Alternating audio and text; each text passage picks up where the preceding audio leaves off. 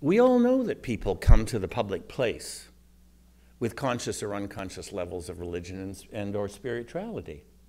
And that we have never done well in Canada by trying to deny that. There's nothing to be denied there. The Fathers of Confederation were, you know, they had many flaws, but actually when you read about them, they're far more interesting than history presented them because um, they were uh, men of the book. Now, they were Protestants and Catholics and Anglicans and so on, um, to the exclusion of others, but they were men of the book and they knew the Bible backwards and forwards.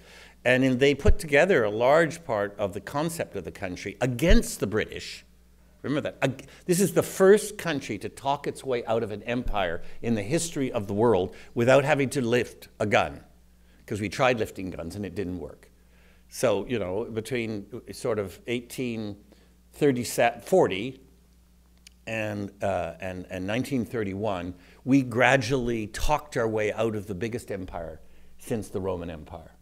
We outsmarted them in debate after debate after debate. And a great deal of that was done by using Abrahamic texts.